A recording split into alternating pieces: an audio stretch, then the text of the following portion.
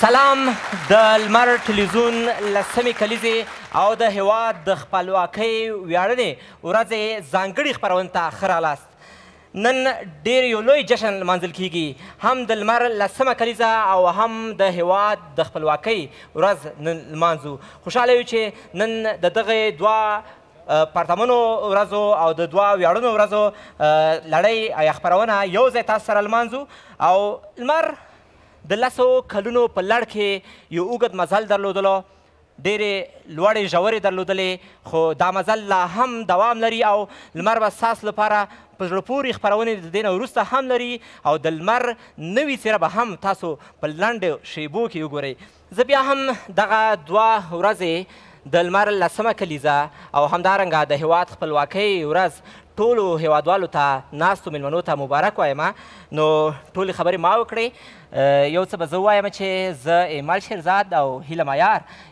نن په خپرونه کې ستاسو قرباني یو او دا خپرونه به تاسو هم را سره تر پایه ګورئ ډېره په زړه پورې ده مننه ایمل جانه دا چې ماته دې وار راکړه نو دونکو زه هم په خپل وار سره تاسو سلامونه او نیکې هیلې وړاندې کوم او زه هم د لمر د کلیزې او همدارنګه د خپلواکۍ د ورځې مبارکي تاسو ټولو ته وایم او امیدواره یم لکه څرنګه چې لیدونکو تاسو هم په دې اوږد مزل کې موږ سره مل وئ نو نننۍ خپرونه کې یا د نن شپې خپرونه کې هم همدا شان را سره ملتیا وکړئ نو ایمل جانه نورې خبرې به زه تا ته پرېږدم په دې خپرونه کې زه نقل ورکم دوستانو ته که تاسو ورته وایي چې څه لرو ځکه لمر چې لس کاله پوره شوي لمر به د پیل خپرونې لمر د دویم کال، د دریم کال او تر لسم کال پورې د نو نو خبرونو سره لیدونکو خوشاله وساتل، لیدونکو ته خوشحالي ورکړله او موږ هم دا هڅه کوله چې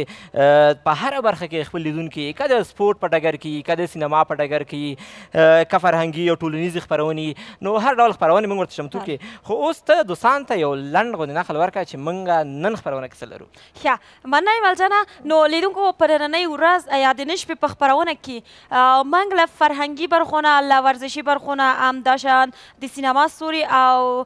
وتلي سندرغاړي په خپرونه کې لرو خو زه نه پوهېږم چې د ما به څه شی له یاده وتلي وي چې ایمل جان به تاسو ته وایي چې هغه څه دي چې د ما له یاده وته چې ته یې باید لیدونکو ته وایې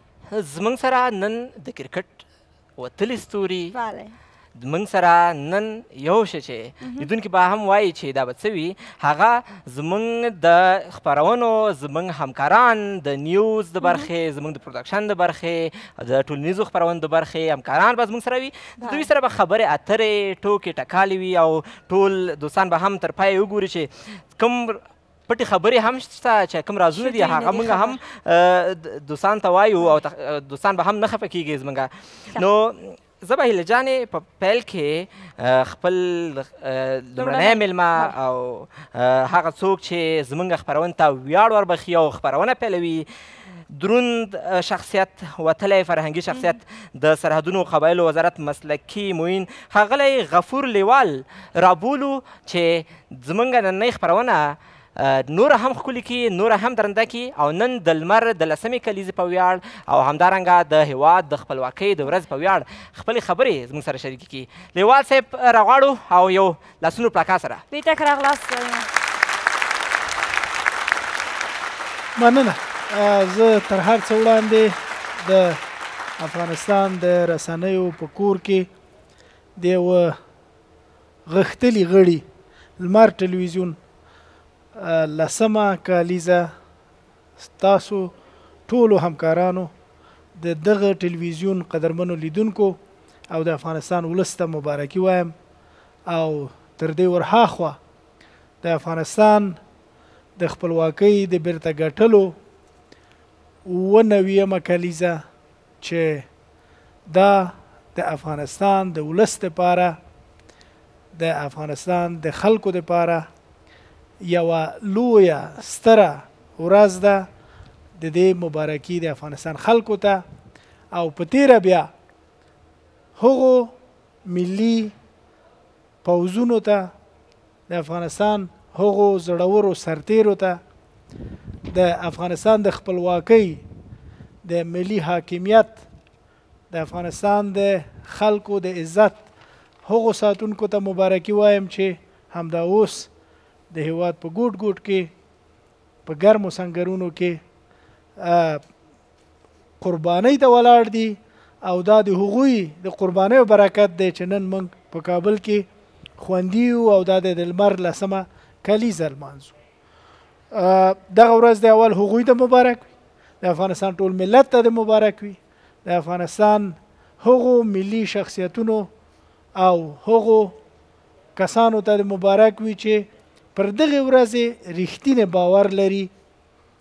دا چې د لمر تلویزیون لسم کال او د افغانستان د خپلواکۍ اووه نویم کال سره مصادف شوي دي دا هم په نیک فال نیسو زه هیله لرم چې لمر ټلویزیون د افغانستان د ملي ارزښتونو د خوندي کولو د خپلواکۍ د ارمانونو او تر ټولو مهم د رسنیزو اخلاقو په یو ساتونکي سنګر بدل شي او هغه توقع چې له بده مرغه زموږ له ډېرو رسنیو څخه کمه کېدلی شي هغه د ملي ارزښتونو خوندي ساتل دي د ولس د روحیاتو لوړ ساتل دي هیله ده چې لمر ټلویزیون هغه پوره کړي حتما ډېر لاند زه غواړم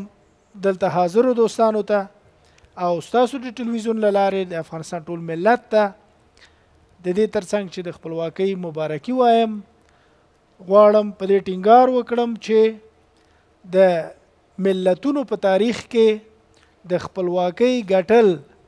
یو کوچنی ارزښت دی تر دې لوی ارزښت د خپلواکۍ ساتل دي یوازې هغه ملتونه پیاوړي ملتونه دي چې په رښتینې معنی خپله خپلواکي ساتي په اوسنیو سیاسي فرهنګي ادبیاتو کې خپلواکي یوازې د جګړې په وسیله د یوې جغرافي استقلال ته رسول نه دي بلکې د یوې جغرافیې د اوسیدونکو د یوه ملت پر خپلو پښو درول هم دي. د همدې لپاره وایي چې له اقتصادي خپلواکۍ پرته سیاسي خپلواکۍ ممکنه نه ده. زه د همدې لپاره پر دې ټینګار کوم چې موږ د سیاسي شعور هغه حد ته ورسیږو چې د افغانستان خپلواکي په ټوله مانا، په بشپړه مانا وساتلی شو. د خپلو اوبو په وسیله پر خپله خاوره د خپلو غنمو له کرلو نه احتیاج ملتونه خپلواکي نشي درلودای. هغه ملتونه چې د ډوډۍ لپاره بل هېواد ته لاس نیسي، هغه خپلواکي نه لري. هغه ملتونه چې خپلې جامې نه اغوندي، هغه ملتونه چې د خپلو اوبو د کارولو صلاحیت نه لري، هغه ملتونه لږ دا ادعا کولای شي چې موږ خپلواک یو د همدې لپاره موږ هیله لرو په تیره بیا له ځوان نسل څخه چې د افغانستان د نفوس اکثریت دی دا هیله لرو چې خپلواکي له خپل ټولو مفاهیمو سره وپیژني او د هغې د ساتلو هڅه وکړي له فرهنګي پلوه موږ څومره ذهنا خپلواک یو دا مهمه مسله ده او په دې کې د رسنیو ونډه ډېره زیاته ده. دا ملت له معنوي پلوه لارښوونې ته اړتیا لري او زه هیله لرم چې ټولې ملي رسنۍ او له هغې جملې څخه لمر او نور ملي ژورنالیستیک بنسټونه دغه شعور ته ورسېږي. زه ولې یوازې او یوازې پر ملي رسنیو ټینګار کوم؟ هغه د دې لپاره چې له بده مرغه موږ د بیان د ازادۍ او موږ د رسنیزو ارزښتونو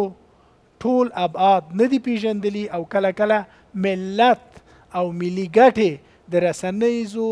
ناوړه اهدافو ښکار ګرځي چې خدای دې لمر ټلویزیون او نورې رسنۍ له دغه بد صفت څخه لرې اوسئ. لیوا صاحب خوشحاله یو چې موږ نن دوه کلیزې البته لویې کلیزې لمانځه او تاسو مو په خپرونه کې درلودئ ډیره زیاته مننه راتګ نه مو. تشکر، مننه له تاسو نه، ستاسو له بلنې نه،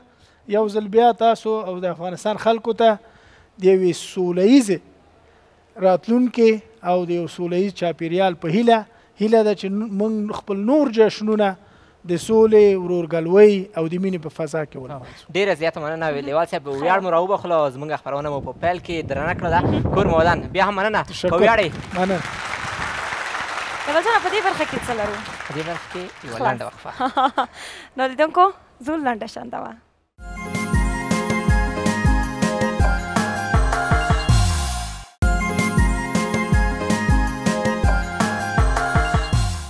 خرغلاس د لمر لسمې کلیزې ته او د هیواد خپلواکۍ ورځ نن لمانځل کیږي او دغه لویه خپرونه مو ستاسو د خوشحالۍ په خاطر باندې چمتو کړې ده بیا هم د دغه دوه کلیزو مبارکي ټولو هیوادوالو ته وایم په دې هیله چې لمر د دې نه وروسته هغه خپرونې چې ستاسو خوښیږي ستاسو لپاره چمتې کړي او همدارنګه په هیواد کې تل خپلواکي وي ازادي وي او موږ په سوکالۍ سره خپل ژوند ترسره کړو او سوکالي خپلواکي دا زمونږ په یووالي سره راځي نو دا چې مونږ په دې برخه کې څه لرو هیله جانه به تاسو ته ووایي چې څوک راغواړو او ستاسو لپاره څه لري مننه ایمل جانه بیا هم له تانه مننه او لیدونکو زه هم په خپل وار سره یو ځل بیا د خپلواکي او د لمر د لسمې کلیزې مبارکي ټولو ته وایم نو ایمل جانه په دې برخه کې لیدونکو غواړو تاسو ته البته هغه سندرغاړ راوغواړو او هغه څوک راوغواړو چې البته تاسو په زړونو کې ځای لري او همیشه یې هغه سندرې ویلي چې البته مستقیم دي تاسو په زړونو کې ځای نیولای نو دونکو هغه بل څوک نه د خپرونې په دې برخه کې جاوید امرخیل راځي او تاسو ته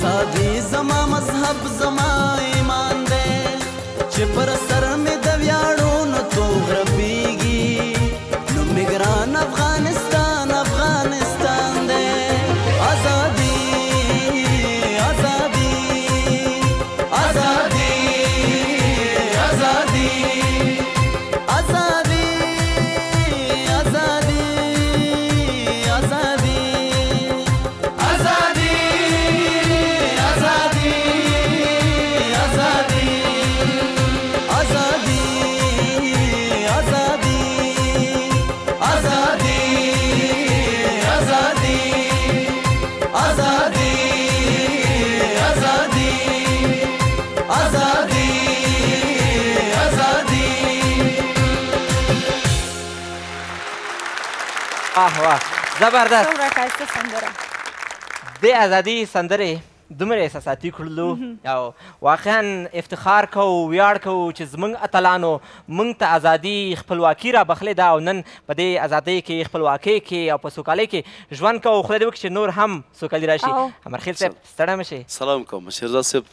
تاسو ته ښه راغلاست وایم او زموږ د هېواد ازادي د لمر تلویزیون کلیزه درته مبارکي وایم او په جوړ شوي ماښام کې ټول ملګرو ته مېلمنو ته سلام کوم لومبۍ خو د افغانستان ټولو ملیتونو ته ټولو قومونو ته د لوی غازي د ازادۍ مبارکي وایم د خپلواکۍ بیا د لمر تلویزیون کلیزې ته ټولو دوستانو ته د لمر تلویزیون لیدونکو ته البته مینوالو ته مبارکي وایم او د مثبتو د ښو کارونو په هیله ورته افتخار کوم چې نن د افغانستان د خپلواکۍ په شپه یا ورځ کی سندره وایم خپل ولسونو سره یو ځای یم. بله زه هم ښه راغلاست وایم امرخیل صاحب تاسو ته او ایمل جان خو هغه کسانو نه یا هغه سربازان نه چې البته همیشه یې افغانستان ساتلی او موږ ته یې ویاړ رابښلی نو دوی نه خو یې مننه وکړه زه به له تاسو نه مننه وکړم تاسو چې په خپل ښایسته او خوږ غږ کې د دوی همیشه کړنې خلکو ته وایه او ورښیه چې دوی څومره ښکلې کارونه کړي په دومره وخت کې او رښتیا هم چې افغانستان اوس ازاد ده نو دا راته وایه چې په خیر راغلي او څنګه مو وغوښتل چې دا وارې د ازادي سندره تاسو وایه. زه فریضه ګڼم د خپل هیواد د خپلو خلکو سره ولس سره مخامخ یا څنګ په څنګ خدمت دا فرض دی دا هر افغان د پاره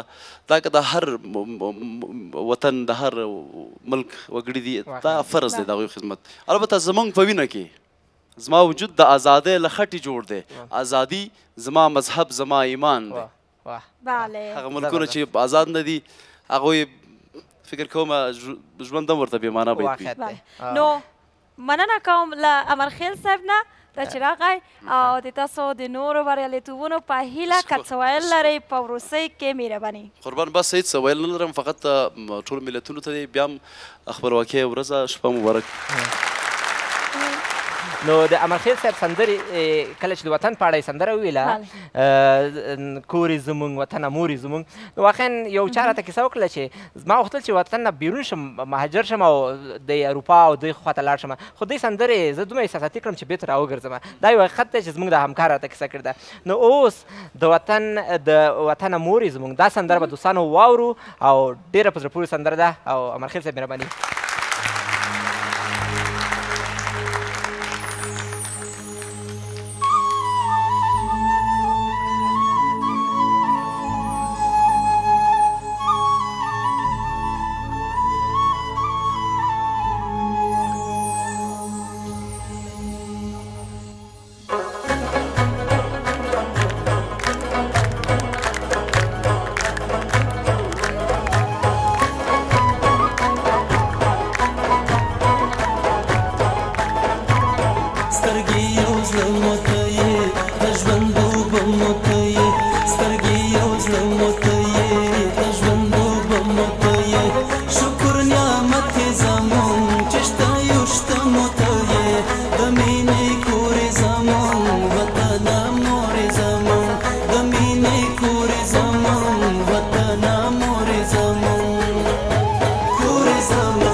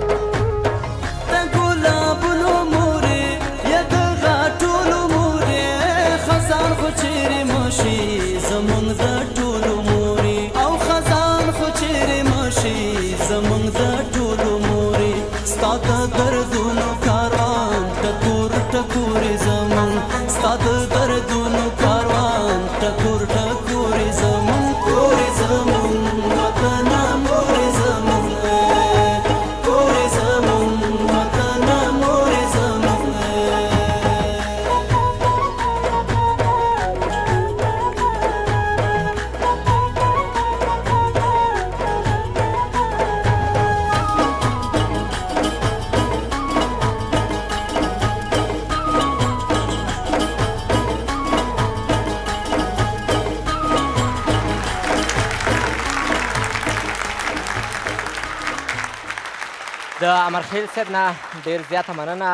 واقعا چې په زړه پورې سندرې وي او یو جوش یې د تماشاچیانو او لیدونکو په وجود کې را پیدا کړو واقعا چې دواړه میهني او په زړه پورې سندرې وي نو اوس په نو ایمل جانه فکر کوم په دې برخه کې نور څه نه لرو او تخنیکي همکاران هم همدا وایي چې باید دمه واخلو نورې برخې لرو یعنې البته په دې برخه کې نور څه نه لرو نو لیدونکو اوس به لاړ سو لنډه شانتمه خو هیر نه کړئ چې نورې ډیرې جالبې او په زړه پورې برخې پاتې دي چې تاسو باید موږ سره مل اوسئ او دا ووینئ د اوس مهال لپاره لنډه دمه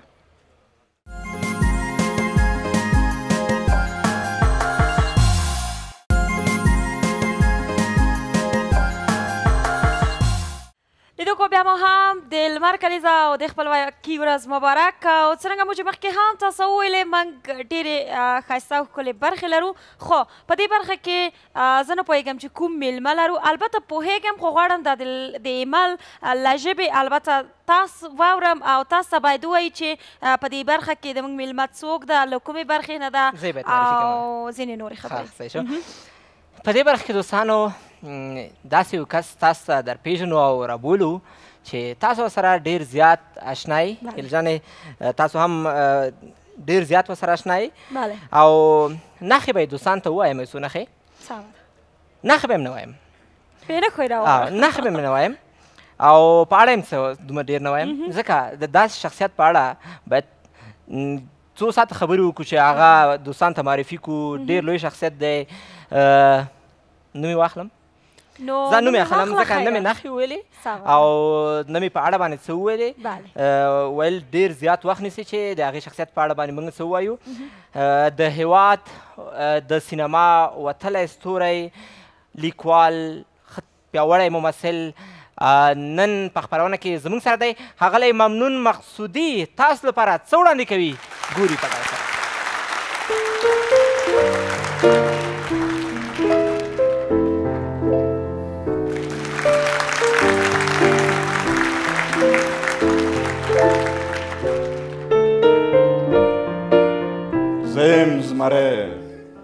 پر دې نړۍ له ما اتل نسته زه یم زمری پر دې نړۍ له ما اتل نسته به هند و سندو پر تخار او پر کابل نسته بل په زابل نسته له ما اتل نسته غشي د من مې د برېښنا په میرڅمنو باندې په ژوبله یونم يرغالم پر تختیدونو باندې په ماتیدونو باندې لما اتل نسته زما د بریو پر خول تاویږي هاسک په نمانځ او په ویاړ د آس له سو مې مځکه ریږدي غرونه کاندم لتاړ کړم ایوادونه او جاړ لما اتل نسته زما د تورې د شپو لاندې دي هرات او جروم غرج او بامیانو ته ښار بولي نوم زما په اودون زه پېژندو یم په روم له ما اتل نسته ازادي مو مبارک شه واه واه واه ډیر په زړه پورې ډیر ښکلی تمثیل د امیر کروړ دغه پیاوړی قوي شعر په ډیر یو ښکلي انداز کې مقصودي صاحب محترم تاسو ویلو چې واقعا احساساتي شوم ورسره زه ډېره مننه ښه راغلی مقصودي صاحب او د تاسو هم د خپلواکۍ ورځ مبارک او د لمر لسمه کلیزه تاسو ته د لمر د لسمې کلیزې په مناسبت مبارکي وایم. لمر دې تل ځلیږي او د افغانستان خوارو خلکو ته دې همیشه رڼا ور په برخه کوي. په همدې ترتیب د خپلواکۍ د ګټلو په مناسبت چې دا ورځ د همدې ورځې په مناسبت یادیږي، ټولو وطنوالو ته مبارکي وایم او ما خپل احساسات د درون امیر کروړ په شعر کې دوستانو ته بیان کړل چې امیدوار یم قبول کړي. مننه مقصودي صاحب ستاسو ډېرې قصې او خاطرې زموږ سره دي خو اوس داسې شیبه ده چې لمر لس کاله یو اوږد مزل درلودلو او په دې لسو کالو کې حتما تاسو هم په خپرونو کې زموږ سره وئ ډېره خوږه او په زړه پورې خاطره به د لمر د تېرو خپرونو راته ووایئ او په راتلونکي کې چې زمونږ سره کوم همکاریان لرئ هغه هم راته وایئ ډېره مننه کوم زه فکر کوم دوستان به راسره متفقي چې لمر په دې لسو کالو کې نه یوازې ښه خبرونه خلکو ته وړاندې کړل بلکې په ادبي او هنري انداز کې کوم هنري ارزښتونه چې وو د لمر تلویزیون له لارې وطنوالو ته خپاره شول چې زه یقین لرم نه یوازې په افغانستان کې بلکې په کوزه پښتونخوا کې او په عربي ملکونو کې حتی په اروپا کې د دې تلویزیون لیدونکي ډېر زیات دي او هر یو د هر خبر په منځ کې د هرې هنري ټوټې په منځ کې او د هر یو سریال یا فلم په منځ کې، حتی د یو شعر او سندرې په منځ کې خپل شخصي احساسات ویني چې واقعاً د هغو غبرګون په ځای دی او زه په نمایندګي د هغو چې د اخوان راغلی یم نو تاسو ته او ټولو وطنوالو ته مبارکي وایم لمر دی تل ځلیږي او موږ دی په رڼا کې یو. ډېره زیاته مننه. نور به هم زموږ سره په خپرونو کې وي که نه بله امید لرم ډیره زیاته مننه کور مو ودان مقصود صاحب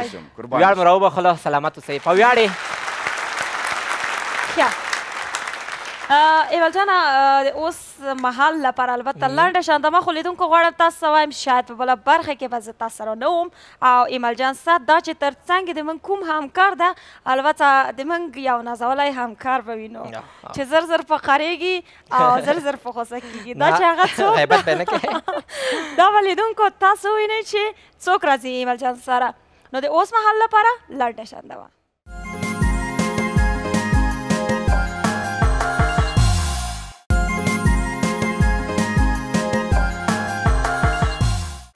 دوستانو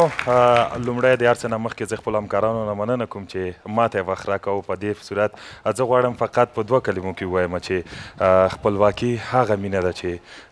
د هر چا ته په نصیب کې کېږي او خپلواکي هغه مېوه ده چې هېڅوک او هېڅکله هم ترې نه مړېږي. دوستانو د خپلواکۍ ورځ مبارکي هم زه وایم او همداراز دا چې لمر لس کلن شو د هغې مبارکي هم تاسو ټولو دوستانو ته وایم. په دې هیله چې خوشاله او تل ځلانده ژوند ولرئ زما زړه د آزادۍ په شمال خوري زما زړه د آزادۍ په شمال خوري لکه ګل چې د اوبو په سر سمسوري د محبوب وطن په غېږ کې خوشحال پروت یم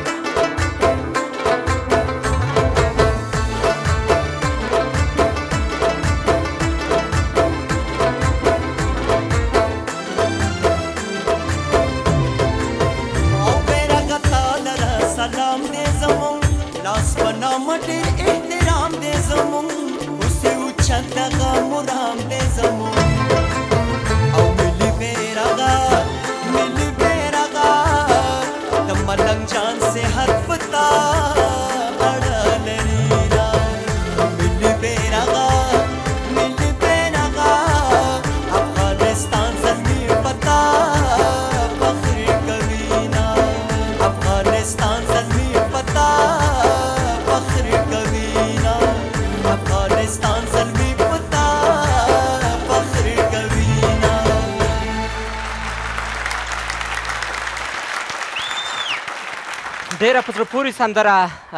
واقعا د ملي بیرغ د چتر لاندې موږ ټول افغانان ژوند کوو او دا چې نن د لمر کلیزه ده او د خپلواکۍ ورځ ده دغه دواړه ورځې تاسو ته مبارک وایم صمدي صاحب په دې خاطر چې تاسو تل زمونږ سره وئ او د لمر په خپرونو کې مو مونږ سره ښې ښې سندرې درلودلې بیا هم ښه راغلاست خپرونې ته صمدي صاحب. ډېره مننه ایمل جانه تاسو نه ستاسو د تلویزیون ملي تلویزیون نه مننه کوو ډېر ښې ښې خپرونې او دا لسیز کل کلن چې دا کم لسیز شو د خیره دا تاسو ته مبارکي ټول لیدونکو ته ټول دوستانو ته او د خپلواکۍ او د ازادۍ مبارکۍ ټول د افغانستان ټول خلکو ته چې څوک په بهر ملکونو کې دي او څوک زمونږ په افغانستان کې دي او د ناستو دوستانو ته ټولو ته د زړه د کومې نه مبارکي وایم مننه سمدي صاحب د لمر د آغاز د پیل نه تاسو زمونږ په کنسرتونو کې زمونږ په خپرونو کې وای زمونږ پروګرامونه مو ډېر رنګین کړي وو او اوس هم تاسو پر اتک سره زمونږ پروګرام نور هم رنګین شو دا د لمر دغه مزل لس کلن مزل ستاسو په نظر باندې ډېر تیز تیر نه شو د لس کاله داسې تېر شو چې بیخي پوه هم پرې نه شو او ډېر ښه ښې خپرونې او ډېر ښه ښه پروګرامونه او هر وخت پکې موږ دعوت شوي یو موږ پکې نازول شوي یو نو ډېر ښه ښه پروګرامونه لمر زموږ افغانانو ته زموږ وروڼو ته ډېر زیات کار کړی دی او کار کوي خدای دې همت ورکړي چې داسې کار وکړي. ډېره مننه موږ تل ستاسو په شان سندرغاړي لکه نن چې موږ په نور خپرونه کې نور سندرغاړي هم درلودل او کوم سندرغاړي چې نور خپرونو کې زموږ سره راځي او خپرونې نورې هم ښایسته کوي موږ د همدوی لپاره کار کوو د خپل لیدونکو لپاره کار کوو چې دوی تل خوشحاله وساتو او ستاسو په ښو سندرو سره هغوی ته خوشحالي ورکړو نو سمدي صاحب که ستاسو خوښه وي او د لیدونکو د نندارچیانو خوښه وي چې ستاسو یو جوړی سندره د خپل ورور سره زریعلي صمدي سره زریعلي صمدي سره یو ځای وایې نو ډېر زیات خوند به وکړي لپاره کېدای شي د دوی به انشاءالله خوښ حتما ستاسو په خدمت کې ما سره زریعلي صمدي یو ځای جوړه سندره کومه سندره تاسو به پوهېږئ چې زمونږ کومه سندره ده او اوس به یې په کلیوالي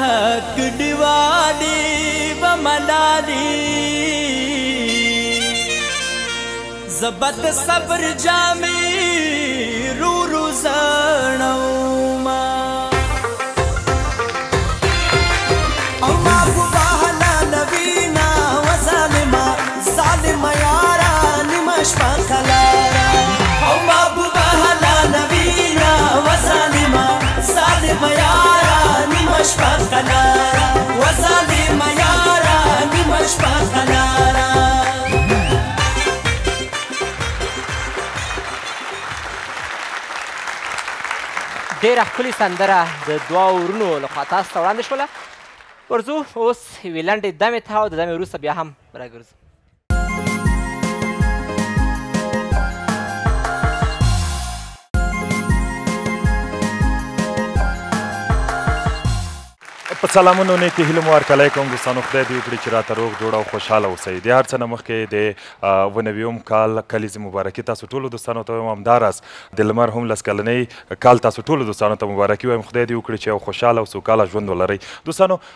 فقط غواړم زه تاسو ته یو دوه خبرې وکړم چې بغیر د هغه نه زما ګزاره نه کېږي او دا داسې یو کس زه غواړم ځان سره راوبولم چې تل مې نازوي او تل په ما باندې ډېر زړه ټول همکاران را باندې ګران دي خو خصوصا دا کس چې زه اوس تاسو ته راغواړم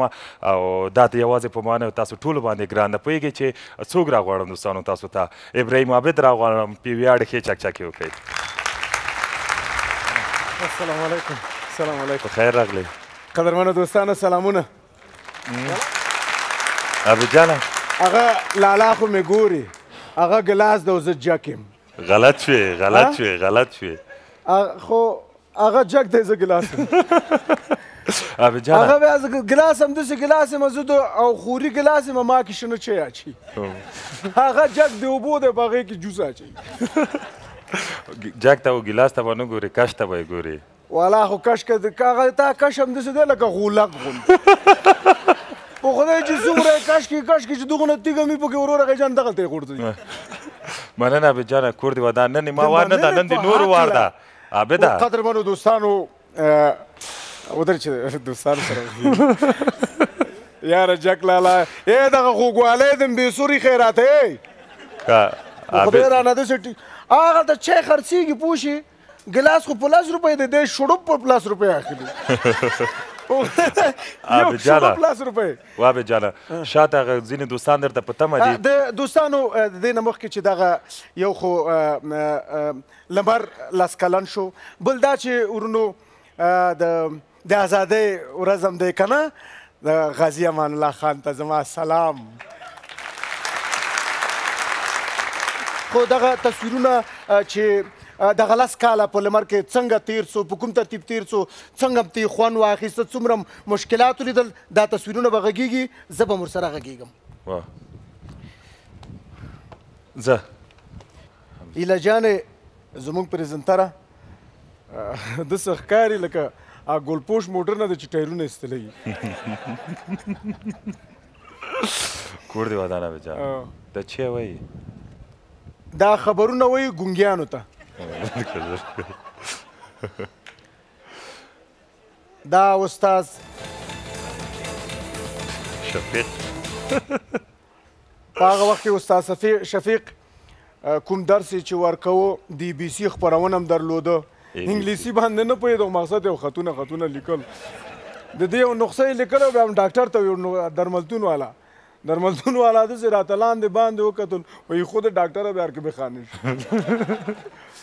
دا شفیق جان دی نو شفیق جان وروره غی جانه او اوس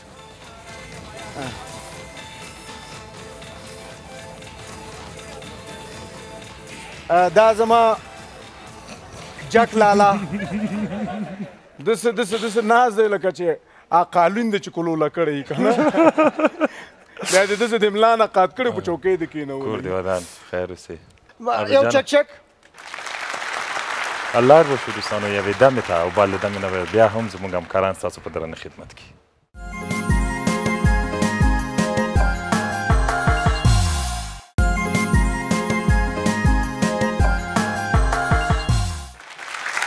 دوستانو یو ځل بیا د لمر لسمه کلیزه ده دغه خپرونه نن په دې موخه موږ تاسو ته چمتو کړې ده چې تاسو د لسو کلو په لړ کې د لمر سره وئ او نن وګورئ چې لمر په نوي څېره تاسو لپاره څه لري. موږ په خپرونه کې ډېر میلمانه درلودل او زما سره همکاره هم وه خو اوس په خپرونه کې زه یوازې یم خو یوازې نه یم. زما سره به ملتیا په خپرونه کې یو وتلي سندرغاړي کوي. هغه به څوک وي څه سندرې به ستاسو لپاره لري او د کوم ځای څخه به راغلي وي نوم یې درته نه اخلم واخلم دوستانو نوم تاسو ته غږ مو نه دوزي نه پوهېږم چې تاسو ډوډۍ نه خوړلې که ما ښه تاسو به چکچکې وکړئ زه به راوغواړم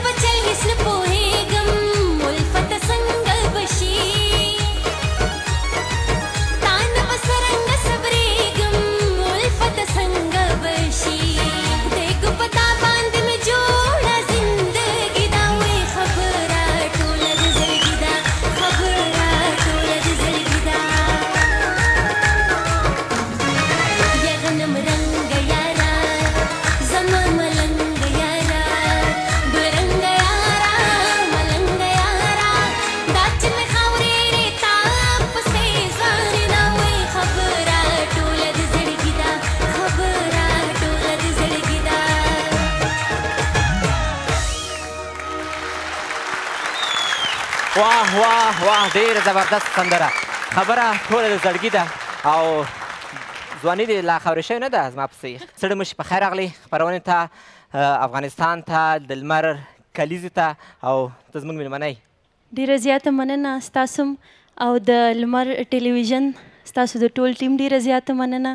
چې ماته هم بلنه راکړه په خپل پروګرام کې د ټولو مینوالو نه ډېره زیاته شکریه تھینک یو سو مچ نو دا چې نورې سندرې دوستان لپاره لرې په هغې سندره کې تاسو د خپل زړګي کیسه کړې وه هغه کیسه مو ونه کړه خبره ټولې زړګي ده او هغه کس مو ونه ښودلو اکچولی هغه کی خو زما د زړګی څه خبره نشته هغه کی خو لکه چې دا څوک راغی څوک راغی وروره څوک یې څنګه راغلې سټیج ته زمونږ خپرونه زمونږ کلیزه کلیزه ملیزه نه ده دلته د عاشقۍ مسله ده. څه وایې زړګي خبره ټوله زړګي ده. هغه خبره چې د زړګي ده خو ای تاسې بیا داسې وځغلولم وځغلې ما ورته ویل چې خپله ګلپاڼه غوښتې ما خپله ګلپاڼه غوښتې ما همداسې راپسې خفېدل تا تا غوښتې و تا د عابد تا غوښتې و نه جی. ښه ولې دا دروغ ولې وایې زما وایي تا عاشقي خو ډېر دوام کړی دا خو مینتوب دی کېدای شي د بچپن یا د وړوکتوب دا د سره ملګرتیا وي که نه په خوب کې یې لیدلی یم یو څو ځلې خوب کې ولیدلم او چې دا ولیدم بیا یې نن یې وغوښتلم لمر ته خو نه دی راغلی عابد ته راغلی څه وایې خیر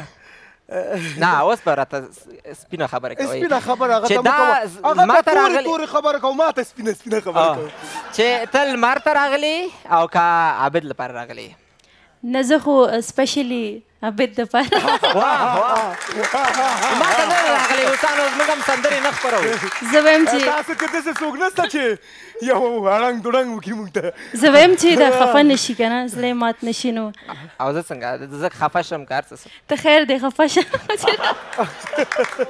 ما همدې لپاره کیک هم راوړو او ګلپاڼې مې خو ډېر خوښېږي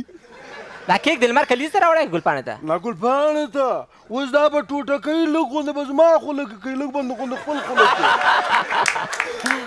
زه بیا بیا مې ټوخی نیسي چې ټوخی ونیولم هلک غوندې حال وځي دا کیک ای روره ځه صحیح شو دا به درسره ومني او مقصد خو اوس مینه په پرېږده چې تلو موږ خپره راتلو زیاتېږي کله راځه او کله به زه درځم مینه آه، اوس ته لاړ شه اوس ته لاړ شه آه، اوس لاړ شه خیر دی دوستانو عابد داسې لاړ شو. دلته د خپلې مینتوب اظهار کوي او دا څه ده، دا محبت دی او طرفه غوندې زمونږ دی. خپرونه ده نو مونږ به اه، لاړ شو او ګلپاڼه به یوه بله ښکلې سندره وایي زه به ګلپاڼه دا بوزم نو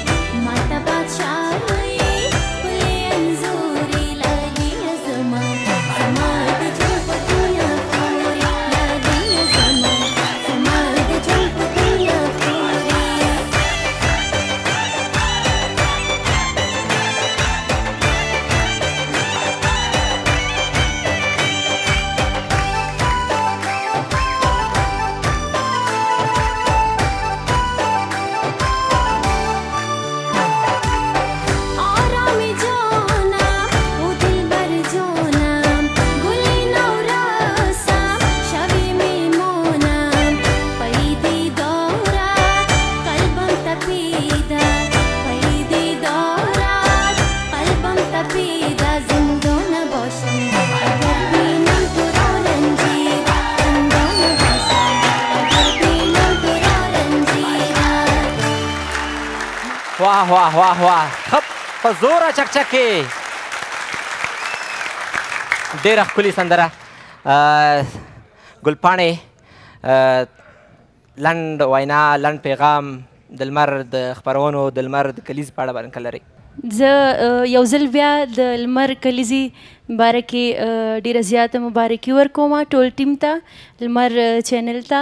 او غواړم چی نور هم مخ په وړاندی لاړ شی نور هم ترقی وکی کامیابی وکی سنګه چی اوس نمبر ون چینل دی چی همدسی په راتلونکی زرګاو کالو کی نمبر ون پاتی شی واه ډیره مننه مننه ډیره زیاته ګلپاڼی مهربانی مهربانی ما یکم تاسو ځان سره ویسی مننه ګلپاڼی نه او د خپرونې ډیرې په زړه پورې برخې پاتې دي تاسو به هم را سره ګورئ خو اوس ورځو یوې لنډې دمې ته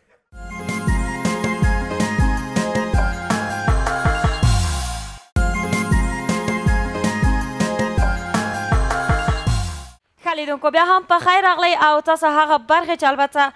یا زه نه وم یا یې ملجا نه و نو تاسو ولیدې امیدواره یم له دغو برخو څخه مو خوند اخیستی وي نو لیدونکو په دې هیله مند یو چې تر دې دمه تاسو موږ سره ښه وخت هم تیر کړی وي. نو موږ تاسو ته د خپرونو په لومړیو شیبو کې البته ایمل جانه وویلې چې موږ ورزشي برخې لرو، فرهنګي برخې لرو، همداسې سیاسي برخې. نو دا برخه مو لیدونکو ځانګړې کړې ده البته ورزشي برخې ته. او زه غواړم چې البته دوی زه معرفي کړم وروسته چې له دې چې راغلل بیا تاسو ورسره وغږیږئ. سمه ده؟ مهرباني. نو ښه لیدونکو د دې برخې مېلمانه هم زموږ ډېر ښه او ځلېدلي لوبغاړي دي، البته د کرکټ د نړۍ څخه موږ ځلېدلي لوبغاړي راغوښتي او غواړو چې نن ورسره خبرې اترې ولرو، البته وګورو چې څه هغه کارونه په څومره وختونو کې، البته چې دوی موږ سره په خپرونو کې نه وو، دوی کوم کوم کارونه کړي او کومې لاسته راوړنې دوی درلودلې د کرکټ وتلي ستوري رابولو او په ویاړ یې چکچکې وکړي زه به یې په پیل کې نومونه واخلم ګلبدین نایب افغان وتلی ستوری سمیع الله شینواری او فرید هوتک د افغانستان کرکټ بورډ ویاند نن په خپرونه کې زمونږ سره دي ستړي مشئ په خیر راغلی اتلانو خیر راغلی. مننه تاسو نه هم خاص کر شهزاد صاحب تاسو نه او زه خپل وار سره د افغانستان د ازادۍ ورځ مبارکي ټولو ته وایم او بالخصوص د لمر تلویزیون ته د لسمې کلیزې مبارکي وایم مننه. ډېر خوشحاله یم چې نن خپلو هېوادوالو په منځ کې یم او خپل د هېواد یو داسې ورځ لمانځم چې یعنې دا یې موږ لپاره د افتخار ځای ده. بله تاسو هم محمد هوتک صاحب. مننه شیرزاد صاحب تاسو ته او ټولو هېوادوالو ته د افغانستان د خپلواکۍ د اووه نوېمې کلیزې مبارکي وایم. خوښ یم چې په ډېر یو ښکلي او زړه راښکونکي پروګرام کې تاسو سره یم او هېوادوالو سره یم او د لمر ټلوېزیون د لسمې کلیزې مبارکي بیا هم تاسو ته او ټولو لیدونکو ته او تاسو ټول ټیم ته وړاندې کوم. ډېره مننه شینواری صاحب. خپل وار اسلام علیکم شیر صاحب د لمر ټي وي نه ډیر زیاته مننه کوو او یې موږ سره همیشه کومک کړی دی همیشه یې زموږ میچونه هغه کړي دي او زه بیا د د ونوي کلنې د افغانستان ازادي ورځ ټولو افغانستان ته مبارکي وایم. ډېره زیاته مننه، داسې نن د لمر کلیزه ده، لسمه کلیزه ده او همدارنګه په هېواد کې د خپلواکۍ ورځ د دغې کلیزې سره برابره شوله او یو ځای نن لمانځو، خوشحاله یو خو لویه خوشحالي موږ ته اتلان راکوي. هر ځل چې د افغانستان د هر وګړي په سترګو کې، په خوله کې موسکا او خندا راځي او هغه د خوشحالۍ اوښکې تویېږي، دا د دې اتلانو برکت دی، د دې اتلانو زحمتونه دي، کوښښونه دي چې په نړیوال میدان کې، د کرکټ په ډګر کې دوی شپږیزې وهي او څلوریزې. په ویاړ یې یو چکچک وکړئ. خو ایمل جانه له هېره مو ونه وځي، لیدونکو ته زه غواړم تاسو ته ووایم چې البته کله چې دا اتلان د دوی په شونډو یا په سترګو موسکا راولي نو په دې کې لمر تلویزیون هم مهمه ونډه لري او ډېر زیات کوښښ یې کړی چې تاسو ته همیشه د کرکټ لوبې خپرې کړي او په ژوندۍ بڼه وي که په ریکارډ یا ثبتي ډول خو کوښښ مو کړی چې وړاندې کړو تاسو ته نو زه هم دوی ته ښه راغلاست وایم او ایمل جانه لومړۍ پوښتنه به تل دوی نه مطرح کوي لمر د دوه زره لسم کال راهیسې د کرکټ نړیوالې لوبې په ډېر لوړه کوالټي په لوړ کیفیت خپروي ګلبدین نایب به د کرکټ د دنیا نه راته کیسه وکړي کله چې دا په ګراوند کې وي او څه احساس کوي او هغه جالبه خاطره چې د کرکټ په ډګر کې سر مخامخ شوی که راته ووایي واقعا دا خو ډېر افتخار دی موږ لپاره بالخصوص چې بیا د خپل هېواد نمایندګي کوو نو دا خبره کیسې خو ډېرې دي د کرکټ ډګر نه هغه ډېره زیاته مهمه چې یو استاد هم ورته خندلي د لوبې نه وروسته ځینې ما په یاد دي بعضو لوبو کې خو خیر زه ډېر زیات دي ځکه چې بعض اوقات چې لوبې کله بایلو نو ډېر زیات خفه خفه نه نه نه د ګټلو خبرې به کې. بیا ګټلو ته راځم او بیا چې ګټو نو بیا دومره خوشحاله یو یعنې دومره موږ خوشحالي لمانځو چې خاص کر خپل هېوادوال اول ګورو چې دوی څومره خوشحاله دي نو بیا ډېر زیات نور هم خوشحاله کېږو نو زیات دا جالبه دا یې موږ لپاره چې کله چې مسابقې بایلو بیا ډېر نیوکې کوي موږ باندې هېوادوال نو زه دا غوښتنه کوم چې باید دوی هغه منفي شیان ډیر زیات ونه نیسي باید مثبته شیانو ته ډیر هغه وکړي نو دا ما غوښتنه ټول هیواد والو دا زه فکر کوم چې په ټیم کې ټول ملګری یاستئ خو شهزاد ډیر پکې ټوکی دی کنه تاسو سره کوم ټوکی کشي راته وای ګوره به زه وایم نه ټوکی خو ماشاءالله ټول ټیم موږ ډیر خمرګری او ځکه چې هم دغه علت هم دا ده چې دا څومره موږ د بریا علت دم دغه ټول یو اتفاق او یو اتحاد د موږ ټیم کې او ان شاءالله همیشه به وي همدغسې او دا یو ډېر ښه زموږ ټیم کې دا یو ډېر مثبت شی ده او ټوکیان خو ماشاءالله ټول دي خو هغه ډېر پرسنل دي مننه نایب صاحب له تاسو نه نو راځم تاسو ته البته هوتک صاحب چې تاسو د لمر په خپرونو کې البته په کرکټ خپرونو کې ډېری ګزارشي خپرونو کې البته ګزارش مو ورکاو کامنټري مو ورکوله نو کومه جالبه خاطره که تاسو له دي وخت نه ولرئ يا له دو خپرونو نه ميربني ليدونکي ټول منتظر دي چي تاسو يي ورته ووايئ. هوتک صاحب ګوره بعض خبرې ونه کړې خپل مې چې وې کوم هغه پټ رازونه چې هوتک صاحب سره ډیر زیات خوشاله یم بیا هم چې زما سره په دغه خبرونه کې دوه ملي اتلان دي زمونږ اجرایوي رئیس شفیق الله ستانکزي هم غوښتل چې راشي خو هغه یو ناسته هم درلودله په همدې شپه کې په همدغه وخت کې هلته ولاړ او خوښ یم چې دا دوه ملي اتلان راغلل او د خپل هیوادوالو دلته چې کوم ورونه راغلي دوی سره یو ځای شول د تاسو په خپرونه کې ګډون وکړو زه ډیر لیواله وم چې دا ملي اتلان وخت پیدا کړي د خپرونې ته راشي دې په خاطر باندې چې د همیش لمر ټلویزیون یا موبي ګروپ زمونږ سره ډیره زیاته همکاري کړې ده پایز زه یو نشراتو مسول یم او زه ویلی شم چې همیش زما سره تاسو همکار یاست لمر ټلویزیون ته زه رښتیا هم ډیر زیات راغلی یم په دغه لسو کلونو کې څو څو وارې راغلی یم خپرونې مې هم تعقیب کړې دي او کرکټ کې به درته ووایم ډېری وخت چې راځم نو شیرزاد صاحب وایي چې ګوره دا اخري ځل ده که دا ځل داسې تاسو ونه کول بیا د ما تاسو سره ختمه ده بیا در سره ختمه ده نو مونږ بیا نه بیا چې مونږ نه کوم غلطي وشي بیا ورته چې ځاسې را صاحب خیر د بل ځل به ان شاء الله هر څه سم وي ته خفه کېږه مه او ستونزه به حل بیا چې بل ځل بیا ټلیفون کوي خبرونه ته یو چې کوي وایي چې وروره دا اخري ځل شو بیا داسې نه کېږي یاره زم دغه لس کلو کې خو به تقریبا یو پنځوس ځلې د ویل چې دا اخري ځل ده خو کور ودان زموږ سره ډېر همکاري کوي دا بل څه کیسه ده نو مننه هوتک صاحب له تاسو نه شمر صاحب تاسو دومره چوپ ولاړ یاست چې بیخي نه پوهېږم تاسو البته اوس به وار ورکړو او زه به البته تاسو یو لنډ پیغام د خپلواکۍ د ورځې لپاره باید تاسو لنډ پیغام واخلم البته بله ورزشي پیغام او وګورو چې تاسو څه پیغام لرئ بلکل د دې ورځ باندې یعنی دا خو ډېر خوشحالۍ ورځ ده افغانستان ونوي کله ازادي ورځ ده او بلکل کرکټ یو داسې لوبه ده افغانستان کې نوې ده او ډېر پرمختګ کړی ده نو د دې عوام دی دعاګانو ده چې دې حد ته رارسوي موږ مهنت ده نو ان شاء الله دا ورځ باندې ان شاء الله تاسو ته یادې موږ ته چې تاسو سره دعاګانې موږ ته کوي نو موږ مخکې ځو موږ مهنت کوو تاسو دعاګانې کوي او ډیره زیاته مننه نو چې زمونږ د اتلان سره ډیره زیاته خبرې دي کیسې دي خو دوی کله لوبه کې مصروف وي موږ د دوی ټولې قصې د دوستانو ته کوو کنه نو اوس موقع دا ده چې د دوی نه پوښتنه وکړو خو وخت را سره کمی کوي موږ وایو چې د اتلان لپاره کوم سندرغاړي چې د کرکټ لپاره ځانګړي سندره ویلې ده ویان هنرجو په دې سندره به یې ونازوو او نور خبر به د خپرونې وروسته څنګه کوو دوی نه هم مننه کوو له تاسو نه هم مننه چې راغلئ خپرونې ته او لا مو خپرونې ته ښکلا وربښله مننه تاسو سره مننه کور مدان په ویاړې چکچک وکړي یو ځل بیا د افغانستان د کرکټ د ملي اتلانو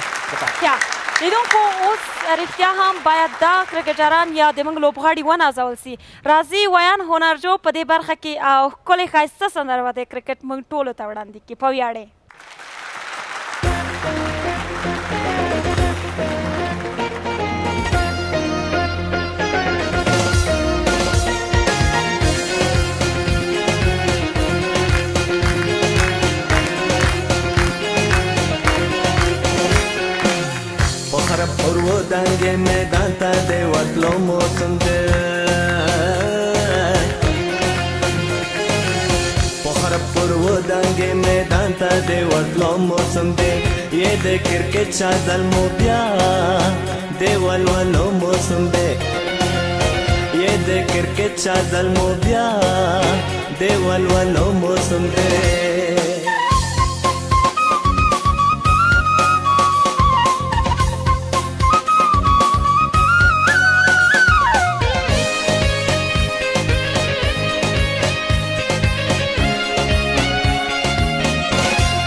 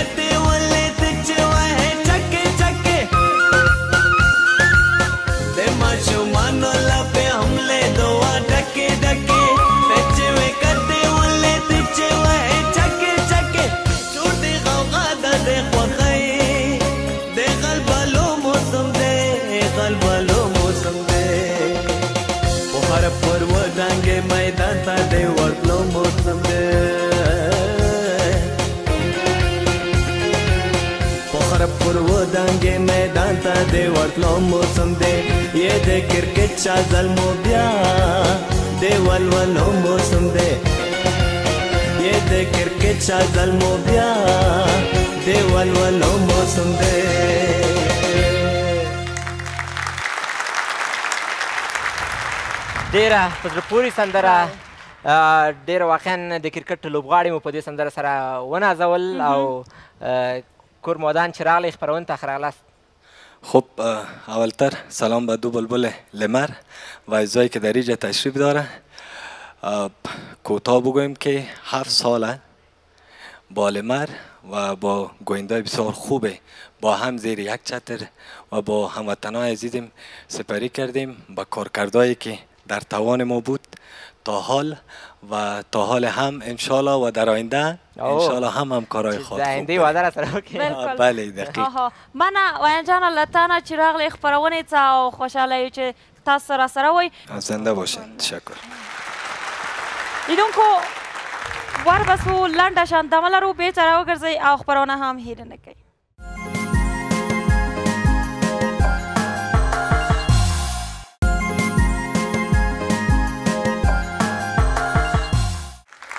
سرغلاس دوستانو یو ځل بیا لمر یوه لسیزه نننۍ خپرونه موږ د لمر کلیزې لپاره او د هیواد د خپلواکۍ د ورځې لپاره ځانګړې کړې ده په دې هیله چې تر دې شیبې پورې چې تاسو را سره وئ دغه ټولې شیبې ښې تېرې شوې وي او هیله جانې د دې نه بعد هم مونږ ډېر څه لرو بله. دوستانو لپاره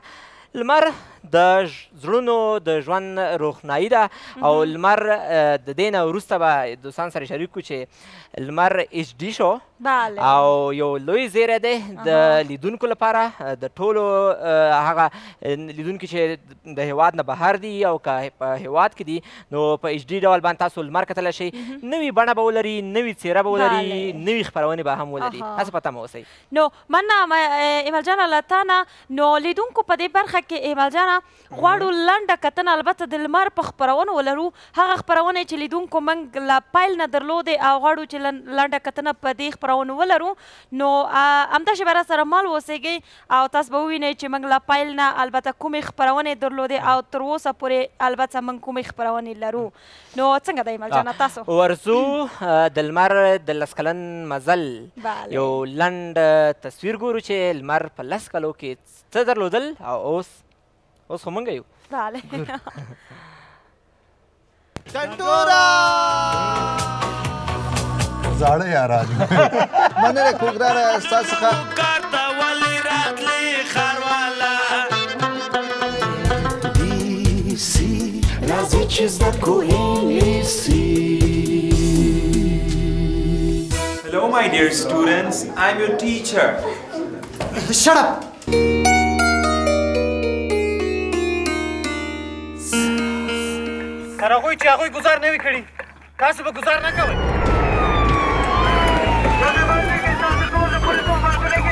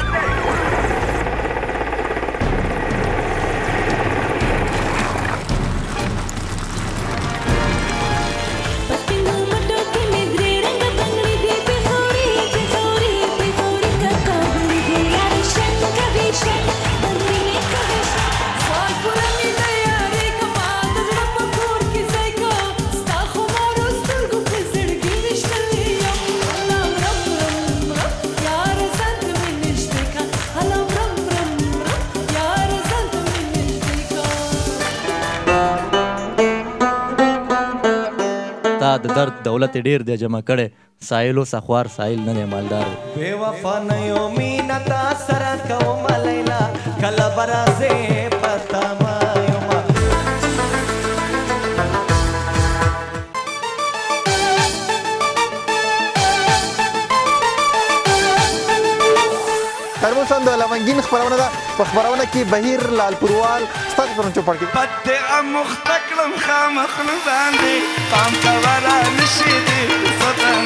ورن بیار لرا دا ستوري په لمن کې څومره خوږ تړون خاونده موجود زما او ستا ترمیان دی محمد ستا هم جانان دی محمد زما هم جانان دی.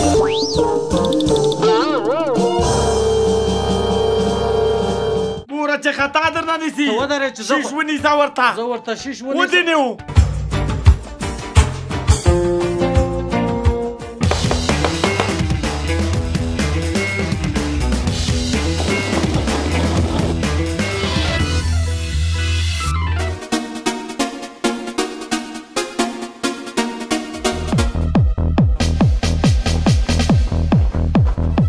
سلام د لوبغالي خپرونې ته اخره لاس په دې هیله چې روغ جوړ او خوشحاله اوسئ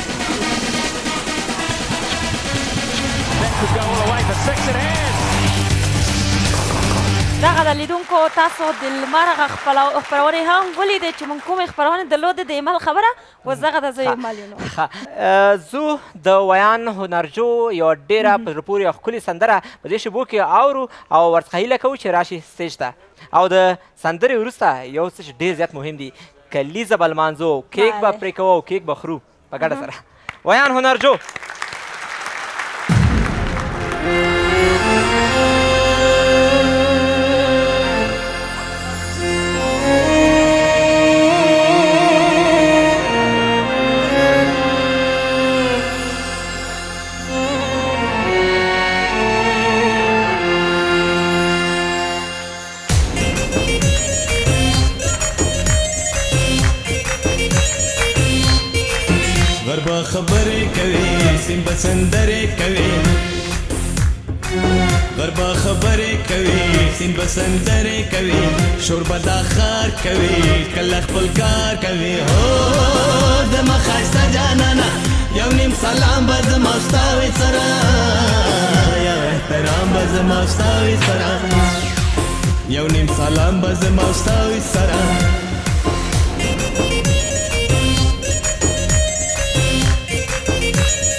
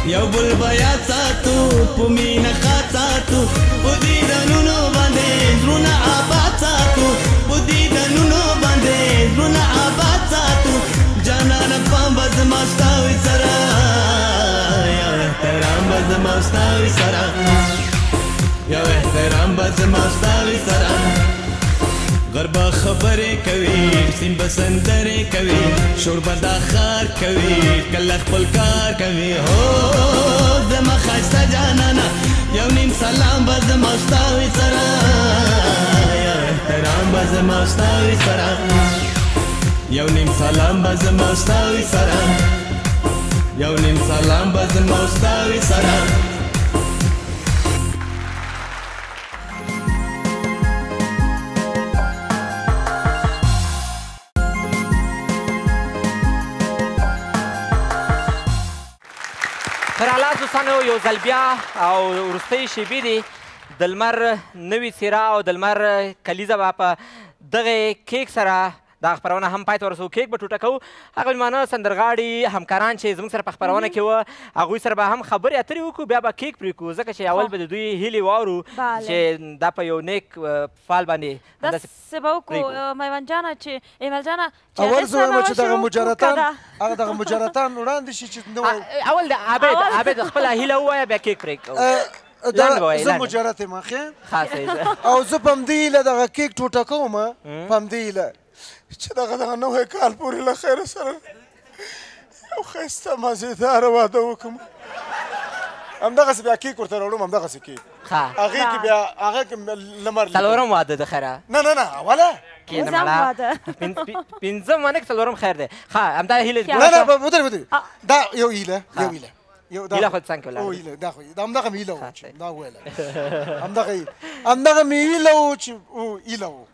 د هیلې وا صحیح شو نور خبر باندې کې نشته شته بل بل یو هیله بل چې مثلا دغه کلیزه زموږ تاسو په دغه هیواد کې او یو سوله راشي یو امن راشي یو امنیت راشي او له خیره سره مننه مننه یو چک چک راشي مننه ایمل چک چک او لجانه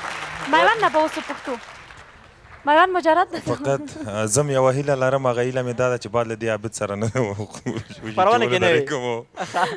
هلته وایي چې بغیر د عابد نه زما ګزاره نه کېږي چې جک نه ګیلاس کې اوبه څوک څنګه وڅکي نه په جک هم اوبه څکل کېږي امرخیل صاحب نه پوښتو او چې خپله هیله راته ووایي او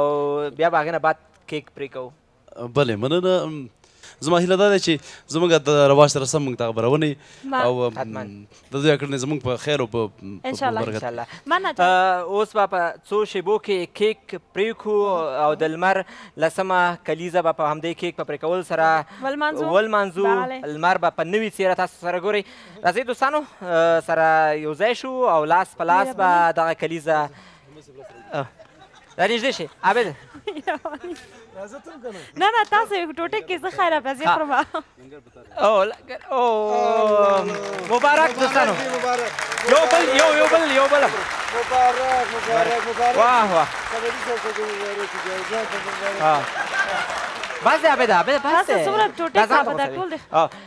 مننه نو ابله ډېره زیاته مننه بیا هم چکچکې او ابله جان اوس مننه به یو مننه خاص د خپل ټول همکاران چې زمونږ کوم ټیم چې د کمرې د پردې شاته کار کوي بله. زمونږ تخنیکي ټیم زمونږ پروډکشن کې چینل کې ټول برخه کې چې کوم همکاران زمونږ کار کوي د لمر د خپرونو لپاره د ټول نه ډیره زیاته مننه کوم په دې